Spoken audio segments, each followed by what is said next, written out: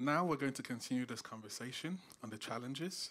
Um, but before we delve into the next panel, I'd love to, first of all, remind us of um, the points that Dan made when he jumped up and down here.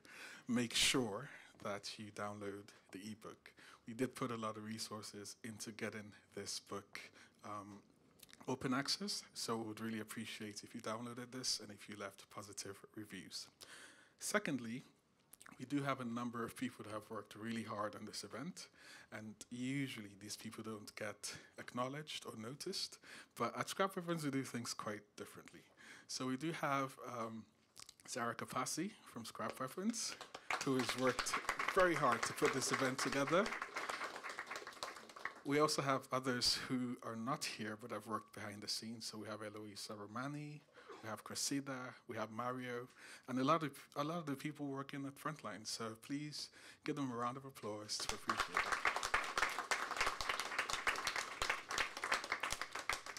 Now we're going to transition to the second round, and we're going to look at the challenges of OSINT investigation. And on the panel, allow me to, to introduce Idrees Ahmad, who is a senior lecturer in journalism at the University of Essex.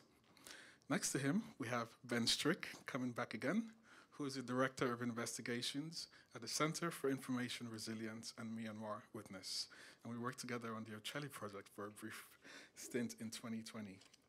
And finally, we have Lydia Wilson, who is an editor and writer at New Lines magazine and an independent research writer. And our moderator, once again, is Henrietta Wilson. So over to you, Henrietta. Thank you very much, Ola. Yes, so before the break, we were looking a bit at what open source investigations are, how they're done, what the point of them is, and now we're looking at some of the challenges. Because not all open source investigations are good. They can be poorly conducted, they can be misapplied, they can be misunderstood. So I think it's very important that we all get a sense of these things. Um, so I'm going to start with you, Idrees. I was wondering, please, could you give us an example of open source investigations that have not been well done and what the difference between good and bad investigations are in the context of your work on journalism? Thank you. Can I give you two? Yes. okay.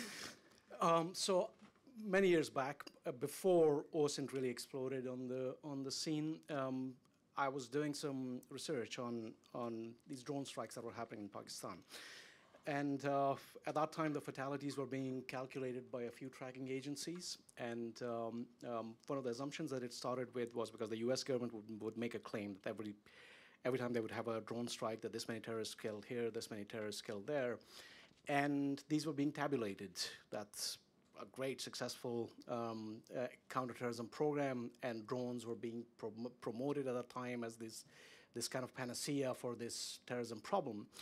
Except the thing was that if you lived somewhere near the region, um, I grew up in the in the region, so um, what you would find is that well, a large part of the story was remained untold, which was this was a place which is again it was unavailable to OSINT. That's one of the reasons why sometimes um, the assumption that everything can be digital investigation uh, needs to be questioned because there are many place, places which are digitally inaccessible. That is one example.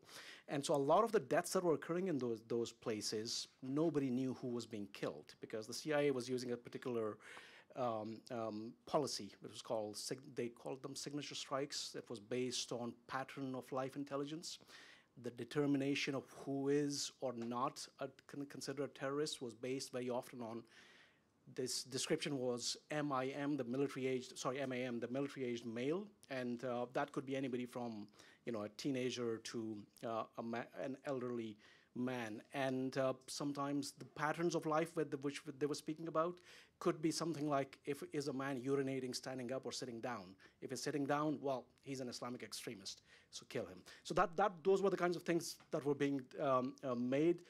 And some agencies started pushing back. The best work was done by the Bureau of Investigative Journalism, and uh, you know Chris Wood at the time did this great research, and he then later on uh, went on to find uh, found Airwars. And, but the thing was, a lot of the, the statistics that you were getting in very precise terms in the newspapers and in the media were based entirely on claims both the claims that were being made by the CIA and also um, made by the Pakistani officials who had their own reason not to reveal the extent of the civilian deaths. But that place was inaccessible. Most of the time, even the CIA didn't know who they were killing. So that's why the numbers which were being collected by agencies like the New America Foundation, there was the Long War Journal and all, so they were entirely based on these claims which were very hard to refute because nobody was even going there in the, the, re the, region itself was inaccessible, so nobody was actually going there to even find out that who was or who wasn't being killed. The second example I want to quickly touch on is re a recent one, which was uh, soon after the Gaza war started, there was an incident, a hospital was bombed, um, and um, in this case, what happened is that um, uh, immediately, within a few hours, this counter narrative then emerged that, well, there was this um, rocket that which went up, and in Al Jazeera footage, you see the ro rocket exploding in the air, and um, the uh, the counter narrative was that well, this was the rocket that exploded and caused the explosion on the ground. And at the same time, there was a barrage of um, uh, 17 rockets that was being fired, which was available, which could be seen in other footage. And um, so all of these, and also the third physical fact which was suggested in the open source investigation was that that there was uh, the crater on the ground wasn't large enough for a bomb. So from all of this, the conclusion was that this was a Hamas rocket, or you know, Palestinians themselves were somehow the cause of this. The problem with that was that uh, you know I don't know any more than anybody else that what specifically happened that day. But the problem was with all of the physical facts that added up to the this counter thesis were eventually they were all um, undermined by first by the New York Times. Again, because the, the problem that has happened uh, uh, is that right now there is this tendency with a lot of this competition has almost emerged. A lot of people describe themselves as open source researchers, but they don't wait to investigate enough. What they do is that they want to be the first outside the gate. They want to be the first one out with a narrative. And those narratives later on, if they get undermined, doesn't matter. By that time, the narrative has taken hold. So the US government and the Israeli government still hold on to that thesis that that rocket, which was seen in an Al Jazeera video, caused that explosion on the ground, even though that rocket then turned out. The uh, others had done it even before that, but the New York Times were confirmed, uh, you know, Eric Toler, who's one of the contributors to this book, was uh, part of that investigation, which showed that, well, that rocket was actually that exploded several miles away from, and it was an intercept of the, uh, by the um, Israeli Iron Dome system. So what happened in that case was eventually the physical evidence fell apart, but the thesis remained because by that time it had taken hold. And the thesis sustained itself on, so there, there was a kind of a probability versus possibility. Probability was the balance of evidence of what was happening at this time. There were airstrikes happening at this time, and hospitals had been targeted at this time. And the possibility that can a rocket misfire and fire, you know, hit this, uh, hit a hospital, and but because there was kind of also the power bias, so eventually the narrative that took hold was the one that was based on the possibility rather than the probability based on the balance of evidence. Great. Thank you very much. Um, and it reminds me, your answer really reminds me of a couple of key principles that I think shine out through the book. It's not always easy or quick or even possible to find the truth about an event around, uh, across the world. Um, and this actually isn't a new problem, right? Intelligence scholars talk about context collapse, where people take data and, and uh, out of its context and read all sorts of things into it that, that really aren't there. I think your answer is really interesting too in giving us some pointers about how open source practitioners do uh, how good open source practitioners kind of uh, um, can, can manage these problems, which is strict methodologies, which you kind of implied in the first half. They're sort of following a process. You collect data. You don't believe it. You check it. And then rather than thinking that a single piece of data will give you a correspondence truth to, to truth, you're building up patterns of understanding and being transparent about what you're doing so that you can be checked against your peers. Yeah, thank you very, very much, Idrees, for getting us going. I'm going to hand over now to Lydia, if that's okay. Um, so um, I'm very interested in your work, which gives a different slant on open source research um, and deals with big amounts of data. Um, and I'm wondering how you cope in, in, the, in the way that you approach open source research with the vast and growing amounts of data we now have and how you distinguish between mis and disinformation in your work. Yeah, a lot of questions. Thank yes. you. Um, so, a bit of background. My chapter is co written with uh, colleagues. We were all at that time at the Cybercrime Centre at the University of Cambridge's Computer Lab and it was about the efforts to build a database um, on online extremism materials. So constant scraping of um, communities, online communities. They started with the far right. When I joined, we extended it to jihadi Islamism as well. Um, so it's the opposite problem really of combing through looking for information to understand a single event. There's, there's we all know there's far too much extremist material online. And so the problems are to do with scale. Um, and also, when you're building a database for posterity, uh, there's a lot of selection involved. Uh, so for that, what's always important is very uh, subject-specific uh, expertise. We, you need very detailed qualitative workers before you start with the huge quantitative approaches of um, that big data can, can offer. Uh, to select communities that are worthy of study, um, and also to follow communities because certainly on the jihadi side, uh, a lot of the tech companies have taken it very seriously in trying to shut it down, much less so on the far right. Um, um, but there are people who are following them closely enough that when one community gets closed down or one platform gets closed down, uh, they can follow them. And so you need people like that who are working in real time. We can't just leave it to computer scrapers as, as great as they are at doing what they do. Uh, you need human intervention every single day. Um, so there's so the scale is is is, is a challenge in terms of finding the right communities amongst all the noise. And then, of course, the scale is really challenging in any sort of analysis.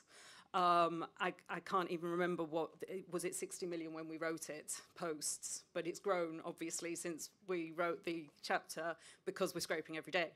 Um, and so what do you do with hundreds of millions of posts of extremist content? Um, so this is again where we need very much lots and lots of different types of input from different types of researchers. Mixed methods are absolutely key.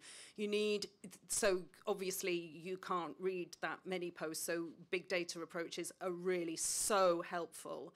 Um, but they're not very good at extremist content. Um, we haven't had many data sets for anything to be trained on.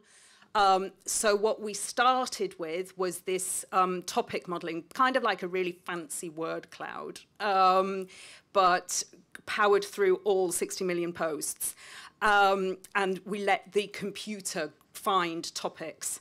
And then you sample and you sample and sample and sample and to find to to, to retrain the model so on so there were some topics where um, they were finding kind of fake topics um, because a lot of forums that aren't very well looked after keep their metadata inside the post. So we got one that had font size and stuff because that was coming up in every single post. So of course the computer thought that was a topic. So you got those kind of wrongly labeled topics, but then they missed topics and a terrible example of that was that anti-Semitism wasn't coming up at all. And me and the other qualitative researcher, we'd spent enough time on far-right forums to know that anti-Semitism was actually kind of fundamental to a lot of their conspiracies and a lot of their word, world outlets, outlooks. And so um, we kind of tried to figure out why. And it was because the language used for anti-Semitism is so varied that the computers weren't picking up on it as one single topic. So then there's a lot of training there that that's involved, but uh, just there's a lot of expertise that's needed from lots of different areas. And sorry, that was too long, I know. No, um, it was really fascinating and a, an, an, amazing reality check that kind of echoes what Dan was saying uh, um, before the break about although AI and machine learning options are amazing and can be one way of, of helping make sense of the enormous amounts of data there are, you can't get rid of the human. If you get rid of the human, you really risk completely misunderstanding what you've got. Misunderstanding in terms of what needles you're looking for, but also which haystacks there are. Yeah, thank you. So, Ben, I'm now going to ask you um, a question. Um, and I want to say, um, I like all the chapter authors equally. It's great to have Ben back again. And why I asked him to come back was for symmetry between the two groups, and also because in this particular configuration, you're overlapping with a lot of the different themes. So, thank you very much for being the, the, the double person. Yeah, thank you. So, what I want to think about is since you first got involved in, in this sort of area, um, there have been enormous changes, right? The stuff that you did in the Cameroon, the investigations on the Cameroonian murders might not be possible now because Facebook has changed. Many platforms are changing their terms of conditions. There are laws that have changed the resolution of satellite imagery we can see. The internet has changed. It's kind of fractured. You get a different internet in different places. So can open source research, can your work survive in this changing digital landscape? Thank you. I beg to differ. Um, actually, I think uh, I, I, think it's uh, probably got a very broad horizon uh, and, and, a very uh, you know a data saturated environment as well. Um, I think that would be the biggest struggle with open source is just too much data. Um, if, we, if we think about the uh, you know the digital penetration into into sub-Saharan Africa, where more mobile phone sales are absolutely exponential through the roof every single year. Um, internet connectivity is going through. Um, you know, once upon a time, in when I was first working on Sudan uh, in 2017, um, it was hard to get videos from Darfur. Like, just wasn't that common. Um, now we've got Starlink uh, which you know I you know I'm not going to comment about any of that publicly as to who runs Starlink or how good it is, uh, but it's been useful for if I was a soldier from the RSF, which is the bad group, um, or the SAF, which has done really bad things as well. Um, I can basically pop a Starlink on the roof of my technical or my Jeep. I can sit out, I can make my tea and sit out and, and have a, a, a meerschaum pipe and, uh, and sit in the kind of dunes of, of Darfur and happily scroll away on TikTok, uploading all of my war footage. And this is why you're seeing so much accurate footage on the BBC every night of the fight in Darfur's last city, El Fasher, that's not under RSF control. We get minute by minute videos because the RSF and SAF are able to upload realms of data every single day that's something that we didn't have five, six, seven years ago. It just wasn't possible. And now we're almost live streaming massacres in sub Saharan or, or, or, East Africa. Um, so open source is very much needed. I think there's more needed. Since we, we wrote the chapter, I think all of us wrote the chapter about three years ago. I, I wrote mine in 2021. Um, God forbid, that was a lot of, of, of badness ago. That was a lot of horror ago uh, a lot of sleepless nights, a lot of tears, a lot of you know I couldn't I couldn't save them, I couldn't help that for a lot of our people, um, and and I, I think if I if I take myself back then to where we are today, the industry has expanded. Um, the UK government, for example, is trying to bring in open source intelligence ethics because they've got so many open source providers that are just chucking data in. They're throwing out grants left, right, and center. The US government how, now has it with the US um, uh, National Intelligence Directorate. They're banging on about open source. There's more funding going towards open source. So it has increased exponentially since the writing of this book. Um, thankfully, all the techniques are still valid that I write about. Um, so yeah, I, I, I, think it's I think it's really big, and that's where we're on the cusp of this as well, because it's a necessary evil that now we're at the biggest year of elections. More than half the world is going to vote this year. Some have already voted, um, but there's a lot of elections still coming up. And I think of some main ones, especially in the Western world. I mean, we've got America, we've got the US, we've got France, we've got the EU. Um, you know, we've, we've had India as well. I mean, God. And those things right there, if we can chuck that kind of open source mentality and those techniques into places like India, with the BJP running its disinformation operations in Bengal, in West Bengal, the, one of the biggest electorates in India, to counter that disinformation where Modi is preaching, you know, I, I won't go on about that. Um, but, you know, all of these sorts of things. So I think it is bigger. It is probably better because there are more good people doing it. It is worse because there are more bad people doing it. And it is even worse because there is more information out there and a much bigger environment to throw poison into. And that poison I refer to as propaganda and disinformation. Well, that's reassuring and depressing, I'd say. it's reassuring to know that practitioners are keeping up with this changing landscape. You know, the, the changing, the, the ways in which Twitter algorithms work does feel like it's changed, but maybe it relates to the question we had earlier about that practitioners can stay innovative even while they work within a framework. And I think I'm really interested by your answer in kind of pointing to this OSINT instinct that maybe what really underlines good investigations is starting with curiosity and wanting to find out, and the basic of uh, scientific methods, academic methods, research, call it what you will, of getting data and checking it before you believe it, verifying it, uh, checking the provenance is something that underlines all good investigations. Yeah, thank you. Um, and maybe transporting that, translating that into different places will be very helpful over time. Yeah, thank you. So I'm now going to have some questions about overcoming uh, the challenges. Um, and Idrees, it kind of relates to some of the conversations we had earlier about the Berkeley Protocol, um, uh, etc. I'm wondering, I'm, I'm interested in your work so you analyse investigative journalism. You are an investigative journalist. You were one of the early adopters of Bellingcat open source research training. So I'm wondering how you see the, the, the sector developing in the way that Ben's just reflected on, and what needs to happen to make sure that it's a healthy, growing, safe, and vibrant field. Thank you. Um, so uh, I'm the director of journalism at the University of Essex, and one of the things that um, um, I have done is made open source investigations part of the training for investigative journalism generally, or journalism research generally, uh, because you know it's not an option anymore. That um, there are, especially if you're reporting on conflicts, there are many conflicts which are inaccessible. So there's the only way you can um, report on them is that you use these uh, new methods that are available.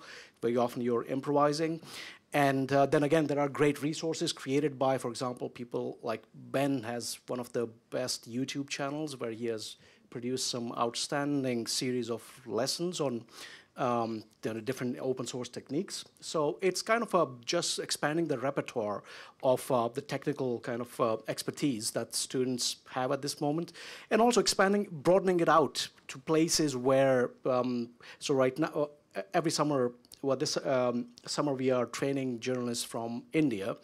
Uh, so we have 10 human rights fellows who are um, um, Guardian, ourselves, our Human Rights Center, and um, my journalism department. So we are training them. And again, open source journalism is part of it. But the other part of it, which is something that uh, uh Lydia was touching on, is the human element. And because one of the things that happens is um, a lot of the time um, when we are talking about stories, um, as I mentioned earlier on, uh, that story about Pakistan was brought home to me because there was one individual um, who was reported killed 16 different times by the US.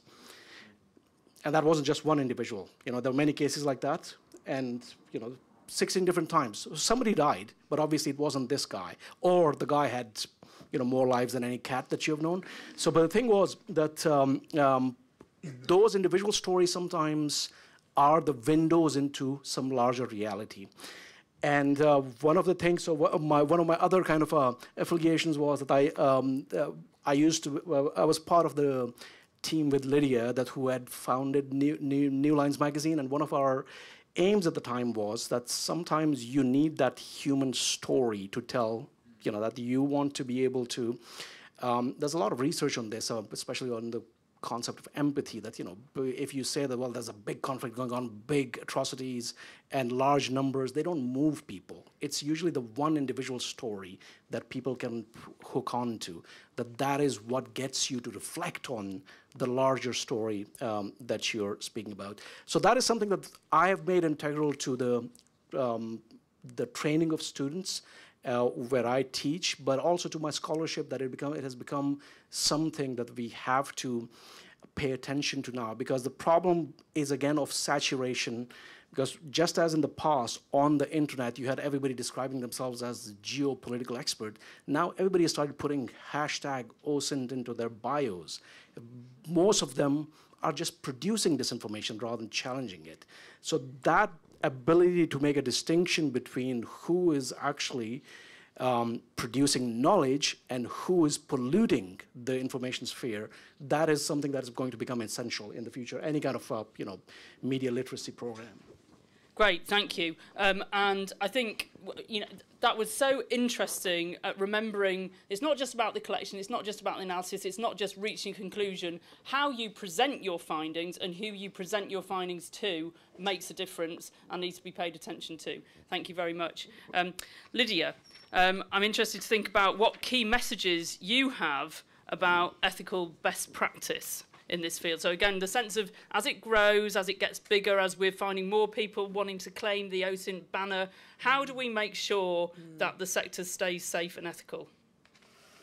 So there are, it is ethically really tricky. I mean, it, legally collecting um, data online is is fairly straightforward. I don't think people realise that when they say things on some of these chat rooms, that's equivalent to publishing it. I, I, it, I, mean, it's in the terms and conditions, but who reads the terms and conditions of anything? Um, and so we're, we're perfectly legitimate in collecting these incredibly personal stories. You know, people go on these rooms mostly to find to find some people, to find their tribe. They go and they share their some really very innermost stories about how they've ended up in these chat rooms, um, and they quite often don't bother anonymizing. Um, or if they do, it's really just you know facile.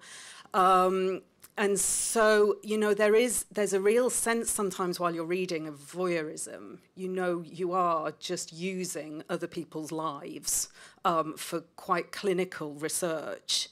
Um, and yeah, as I say, legally that's that's fine. They they they haven't they don't own that data once they've put it into the public domain.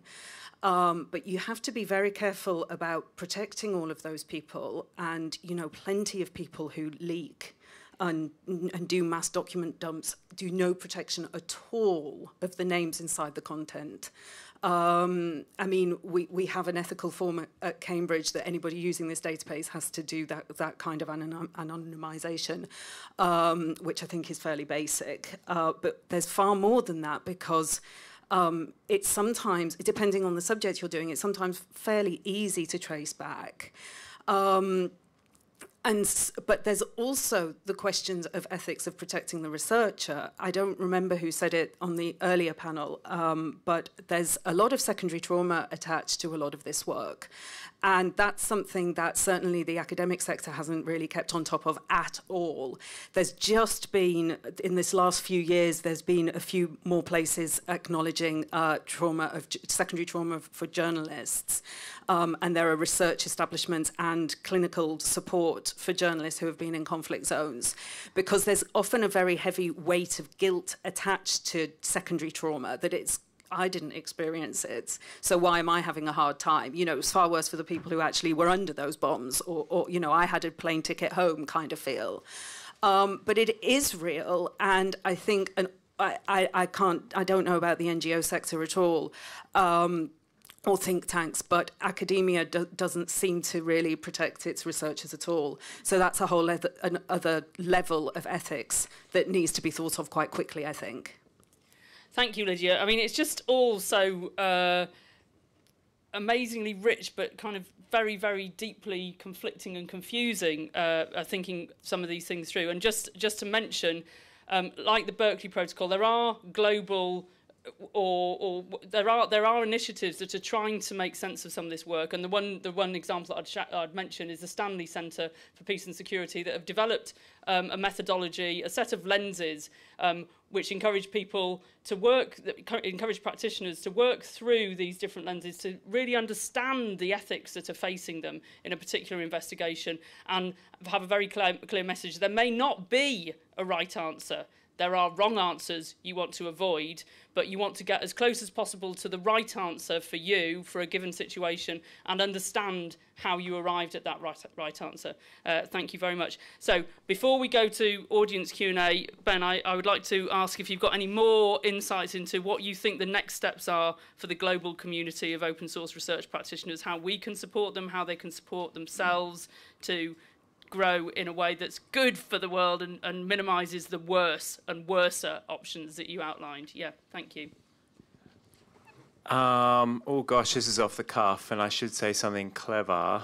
Um, so I think, I mean, one of the main things we've been sort of trying to do, in, in and especially in our, our trainings around the world, is focus on this idea that open source is a little bit of a kind of grenade. You want to throw it in, in the right area, but also think about, you know, if you've got any friends kind of standing nearby the impact as well. Um, so thinking about, you know, when you publish an investigation, who might be affected, right? And we've kind of spoken about this around the human story, but also thinking around the human beings around outside of it, right? Um, so, you know, I, I, think that's an important one because there is a lot of hype around OSINT. Uh, you know, I mean, we have this event. I don't think this is a hyped event. I think this is a good event. Um, and it's awesome that we're all here today, but there is a lot of hype online around open source and OSINT. Um, there's a lot of kind of GeoGuessr hype. It's a, it's a game that people play on Google Maps and they go into real life and they, you know, they, they, they locate these things and they go, oh, cool, let's play GeoGuessr on Ukraine and let's uh, identify where all these Russian vehicles are. And then before you know it, you have a whole list of Ukrainian people's addresses where they film from their apartment windows uh, showing Russian tanks driving by in occupied areas. So you think about, okay, the impact of that grenade that you've just thrown on Twitter, who might receive that? Who might get that? Who's going to get the door knock at the end of that tweet, right?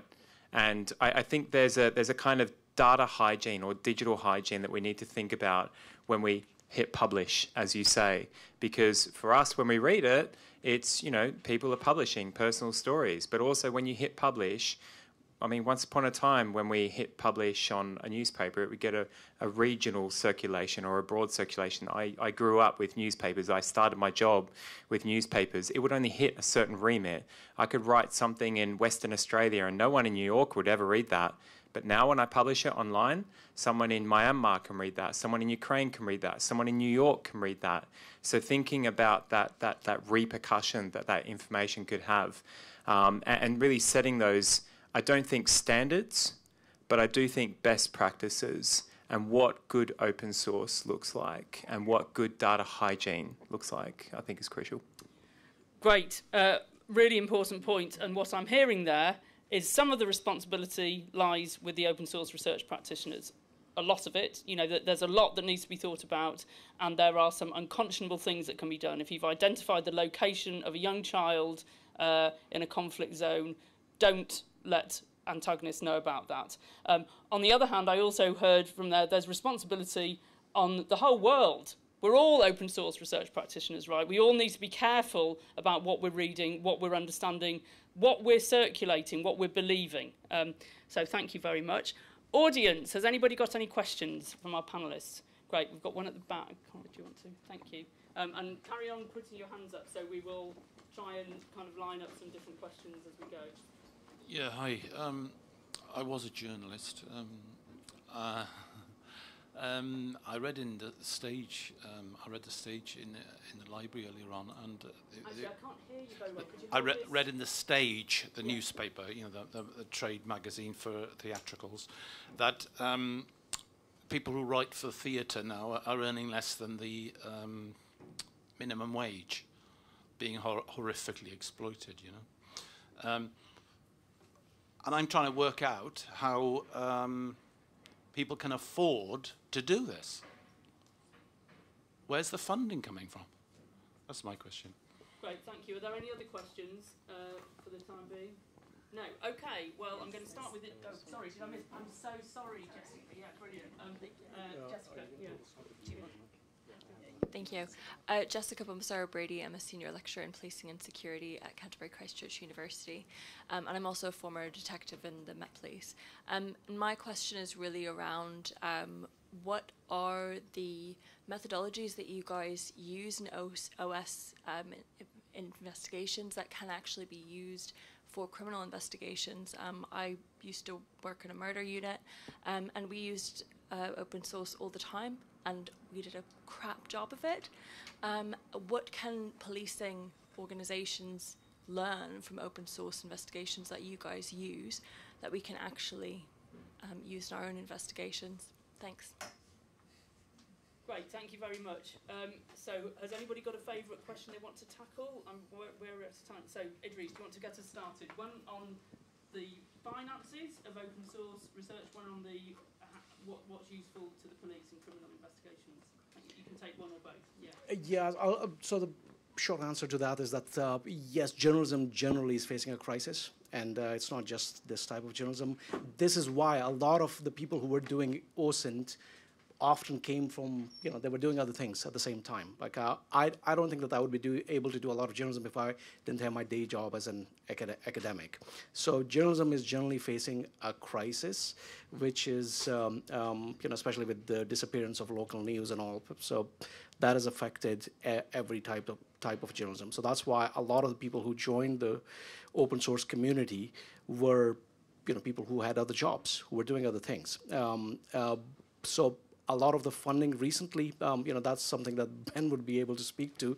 That uh, there are organizations which have emerged. I mean, even Bellingcat, until very late, it was all volunteer effort. I remember meeting, uh, you know, at um, Eliot in 2017 at uh, the Byline Festival, and until then, they didn't have much funding. So it was only, you know, through the high profile that was achieved through some great successes that the funding was um, eventually um, secured. Um, regarding your question, I mean, I think that there are you know a lot of methods that have been used and in law enforcement, especially uh, more recent, there were some cases in which there was um, you know people who were child exploita- exploitation. The images were used to um, uh, locate the, the individuals. But that also brings up a question of why open source often doesn't work when it's adopted by states or agencies. Because one of the strengths of open source is the openness of the community, which provides a kind of a, a kind of peer review that you are saying that well, you're making a claim that well this happened over here, somebody will be out there challenging you if you're getting it wrong. There is a um, I mean, there was a in Boston after the Boston bombing. There was an example of um, what happens when you don't have that kind of a check. That when it becomes everybody's just rushing to find some kind of a theory, and they ended up kind of misidentifying who the killers were, and you know there were um, innocent people who were who had to. Uh, who had to go into hiding because their pictures had been put up and on internet there were all these claims about about this. So that is a general question of the ethics. Um, if I can just uh, add a, um, one point to that question about the children and you know the, the protection, for example, in uh, in because that's a general ethical question. It applies not just to open source investigations but to journalism generally. In Aleppo, there used to be this little girl who was posting pictures and videos when it was under siege and when it was being bombed. And um, so some of us knew who she was and where she lived. We knew her mother as well at the time, and we were communicating with her because the problem was the Russian government and also the Syrian regime were trying to first say that, well, she's not even here, that she's some kind of a psychological operation, and this is all propaganda. And we knew, but we didn't reveal it at the time because the problem was that Aleppo is not too large, you know, that besieged part. Revealing that would also mean that it, because they were actually hunting for her, they will make her a target. So we had to kind of uh, be cautious. In fact, Nick Waters of Bellingcat, only after she was, you know, the Aleppo fell and she was evacuated securely, that's when he published his findings. He ended up winning the European Press Prize for that. And by contrast, something the CNN did, which is a height of, I mean, now, now this is not, um, so what happened is that there was a, also in another besieged area of Damascus, there was a hidden library. People, what they were doing was that all the bombings, wherever they were happening, so all the books that survived, they took them to one place, underground, they'd set up a library in this besieged zone in Damascus. It survived for many years until Damascus fell and the regime took control. BBC knew where the library was, and uh, some of us also knew that where the library was, but BBC made a point of not revealing because it put the people who were involved under threat. CNN turned up at the door of the person, this was a 14 year old kid, that who was managing the library, and did a big story. Potentially, we don't know the fate of that kid. And so that is kind of a, an example of you know, pursuing a story without any consideration for how it might impact the individuals involved.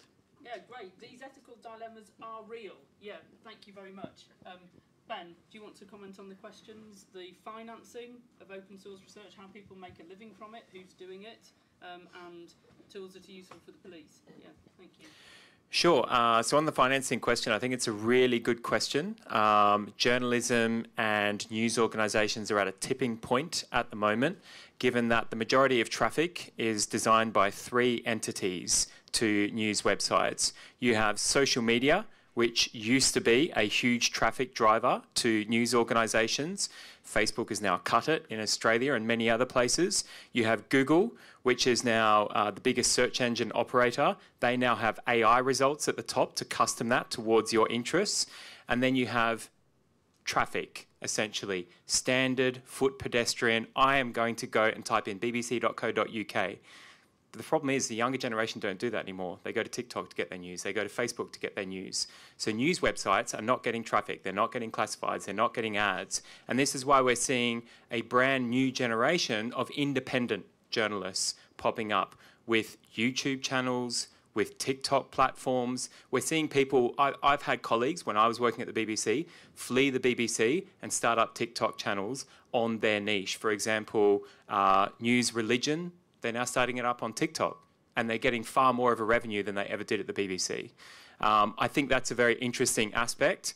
Uh, I, I, don't know how that's going to look for the future of journalism, but that's a very dangerous point when, again, I refer back to the fact that we have so many elections this year and yet news agencies are at a dip which is a, a, a, crucial point.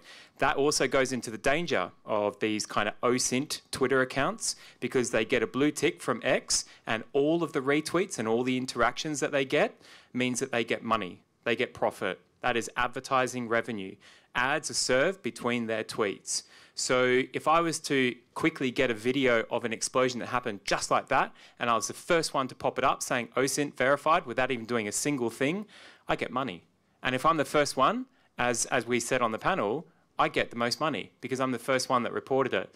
So that, in, that drives an incentive by a social media platform that should have rules and policies and regulations. No, don't do that. But that should actually have an incentive to say, let's not drive that to just have first original content to serve ads to pay that person. That's a monetary, uh, a monetary carrot stick to be the first one to publish stuff without actually verifying it. Um, on the law enforcement one, so I hope that answered your question in, in some way, shape, or form. On the law enforcement one, so I personally have volunteered and worked with law enforcement in the past. So, for example, National Child Protection Task Force, I worked with Aussies, Canadians, US, uh, Brits on national child protection. That was an absolute, it didn't really work too well because police agencies already find it difficult to work to each other because this is clarified and you're not, classified and you're not vetted to see this. Whereas me coming in as an open source person, I'm like, woohoo, I got it, I can share it with anyone I want. um, same for intelligence organizations, they hate it because they get this, they can't share it with the government, but the open source person can share it with whoever they want media agencies, other governments, in, in uh, diplomatic relationships with the UN, all that kind of stuff. But I think the, the essence is, and I refer to this because I really like cake uh, and, and cooking as well. So I refer to it as giving people cakes, right? I'm not just going to give you a cake like that incentive from Twitter to say, hey, trust me, here's a cool cake, pay me for it. But I'm going to give you the ingredients and I'm going to give you the recipe as well. And you can replicate that cake if you're a lawyer, if you're a, a, a judge, a prosecutor, if you're a journalist, you can replicate that and put your own stamp on it and not credit me. Happens all the time. Uh, but you can basically do that and that kind of cuts that process out so that people who are volunteering that stuff online, uh, you know, a police officer could go and say, oh, okay, I've got that cake, I've got the recipe, and I've got the ingredients. I'll replicate that in my investigation. And that's a lot of our justice and accountability work that we do with international and domestic organisations as well. Hope that helps.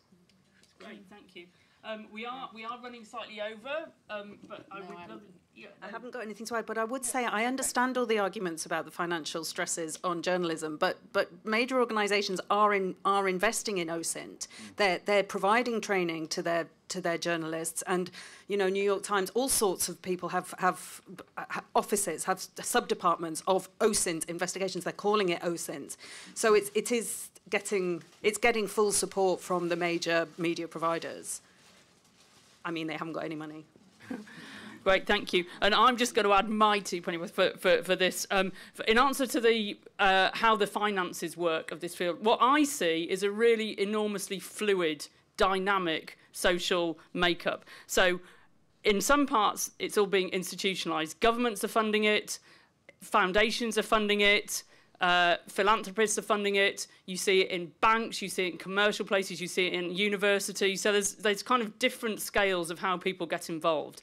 There's also a lot of volunteers doing it, um, doing the, the very, uh, wanting to have the kind of thrill of the chase of finding things out. And that has been used by Europol, uh, interestingly. They have a Trace an Object campaign that's circulated via Reddit. It's very, very carefully controlled so that the, the volunteers know exactly what they're doing and it's not encouraging vigilantism.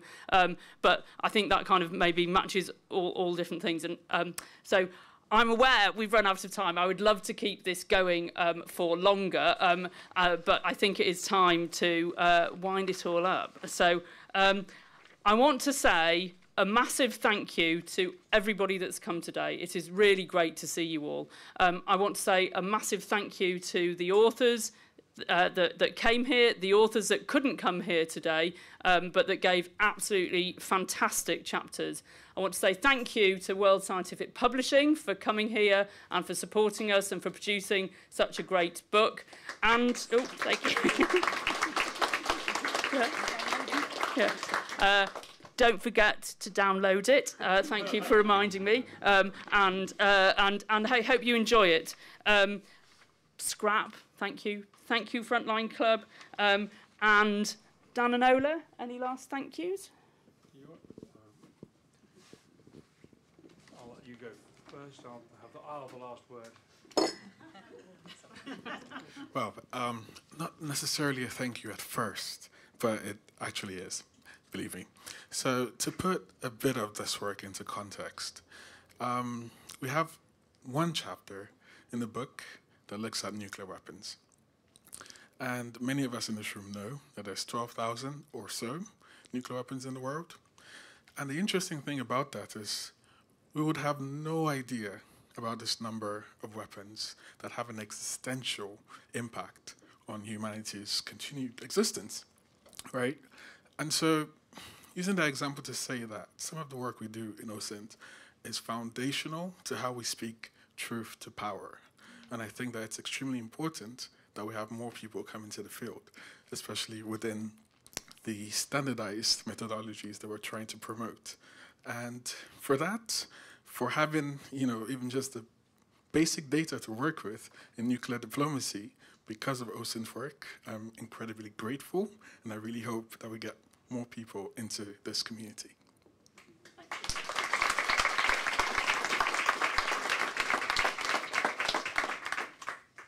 We should perhaps do more as a double act. Um, because what I wanted to say is what can be a takeaway, what has really changed, what might be different. Uh, and uh, older members of the audience will recall uh, the scam con around intelligence and Saddam Hussein and the invasion of Iraq. And I think with what we have today, it would not have been possible for Colin Powell to go to the Security Council with his nonsense about biological weapons trucks and other, and that our panelists and others would have ripped apart that presentation and much of the disinformation which was purveyed not by fringe media or Fox News, but by the mainstream media. The New York Times was at the head of that misinformation campaign. And if you look at the lack of confidence of the public in uh, leaders and political systems, a large part of it, certainly in this country, the disillusionment of the English middle classes uh, with the Blair government because people believe the Prime Minister, bless them, uh, over that issue, would not have been possible in the world of uh, OSINT, in the world we have today. It just wouldn't.